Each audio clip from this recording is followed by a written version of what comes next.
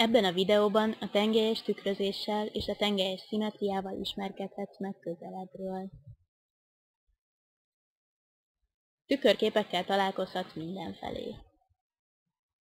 Láthatod, amikor reggel még kicsit álmosan a tükörbe nézel, ha napközben elmész egy tócsa mellett, és néha akkor is, amikor este odadugod az orrod az ablaküvegéhez. Tükörképekkel találkozhatsz mindenfelé ezért a tükrözésnek sok tulajdonságát ismered. A videóban összegyűjtünk néhányat a legjellemzőbbek közül. Kezdjünk először egy játékkal.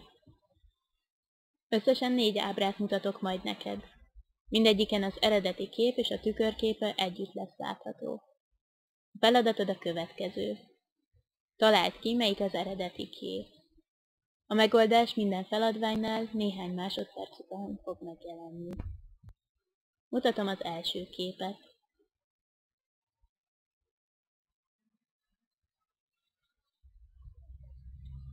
Itt a jobb oldali az eredeti kép.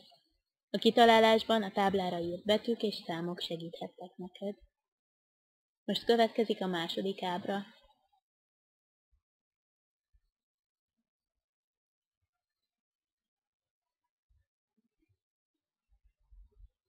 A pályaudvart és a tükörképét nem a valós helyzetében, hanem fejjel lefelé láthattad. Az alsó kép volt az eredeti. Most mutatom a harmadikat.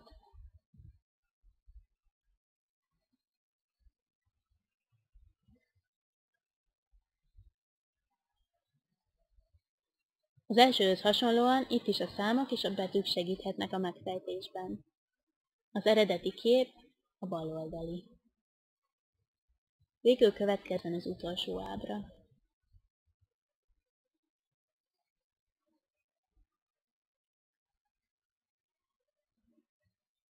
Most az alsó képen látható a cica, belül pedig a tükörképe. Eddig térbeli tükörképeket láthattunk. Nézzük most meg a síkbeli tükrözést. Ezt a vizsgálódást is egy játékkal indítjuk. Öt különbség van a baloldali kép és a tükörképe között. Állítsd meg a videót és keresd meg ezeket. Most megmutatom a megoldást.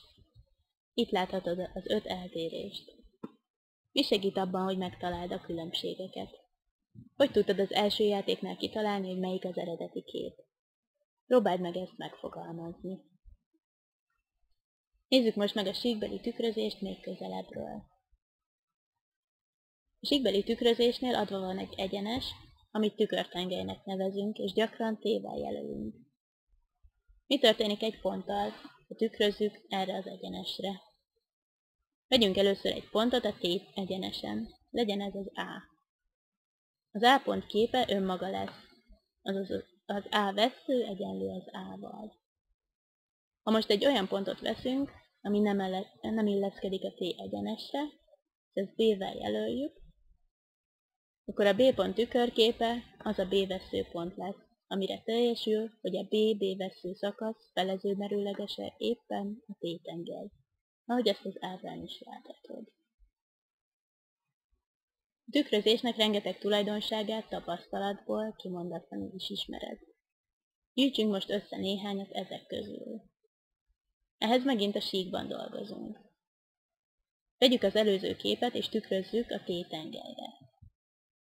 Ekkor az igazi tükörképet kapjuk meg, különbségek nélkül. Nézzük meg, mi történik egy szakasszal, ha tükrözzük. Azt láthatjuk, hogy az AB szakasz képe, az A vesző B vesző szakasz ugyanakkora, mint a piros szakasz, az eredeti.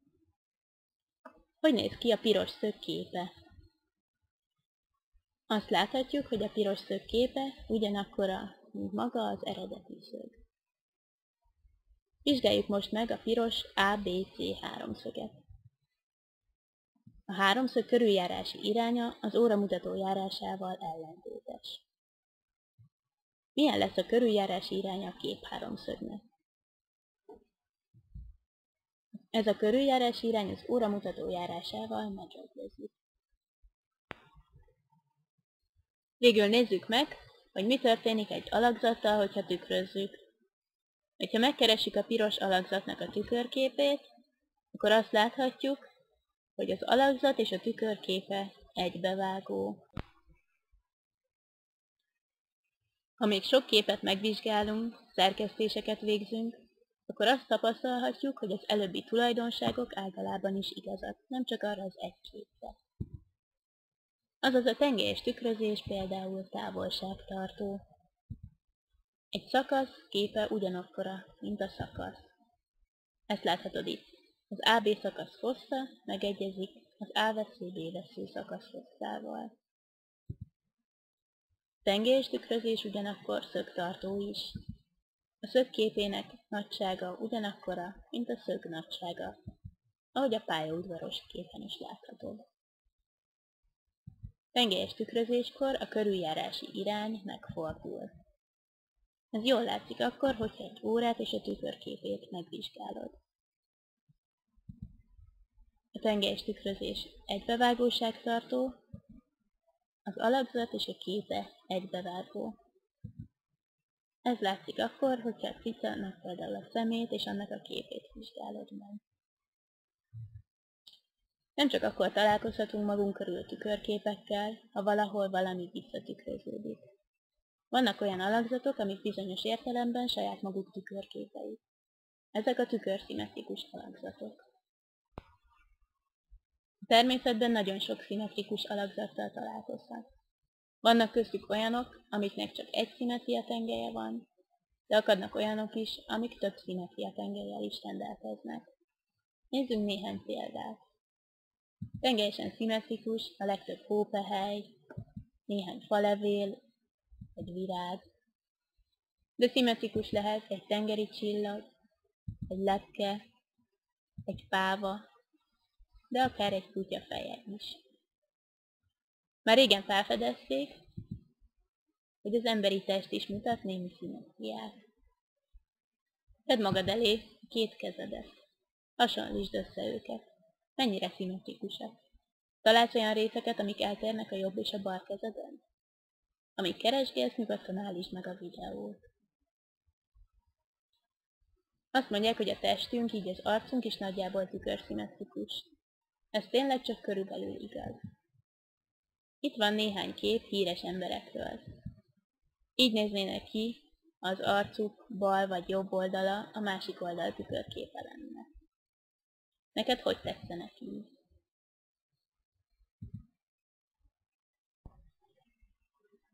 A szimetria az emberi alkotásokban is nagy szerepet kap. Néha azért, mert éppen az összhangra, tökéletességre, szimetriára törekednek a művészek, máskor meg azért, mert ezt akarják elkerülni. Rengeteg szimmetrikus épület is van körülöttünk. Múzeumokat, könyvtárakat, templomokat és más épületeket vagy lakóházakat láthatunk, amiknek a homlokzata tengelyesen szimmetrikus. Ha van kedved, mikor legközelebb kimész, számold meg, hogy az utcátokban hány szimmetrikus épület van. A most látott alakzatoknak két nagy csoportját különböztethetjük meg. Vannak olyan térbeli testek, amik tükörszimmetrikusak. Ezek olyan térbeli alakzatok, amikhez található olyan sík, melyre tükrözve a térbeli alakzat képe önmaga. Amikor nem a térben, hanem egy síkban figyeltük meg az alakzatokat, akkor ezek közt is találtunk szimmetrikusakat. Azokat a síkbeli alakzatokat, melyekhez található olyan egyenes, amire tükrözve a síkbeli alakzat képe önmaga, tengelyesen szimmetrikus alakzatoknak nevezzük. Köszönöm, hogy megnézted a videót.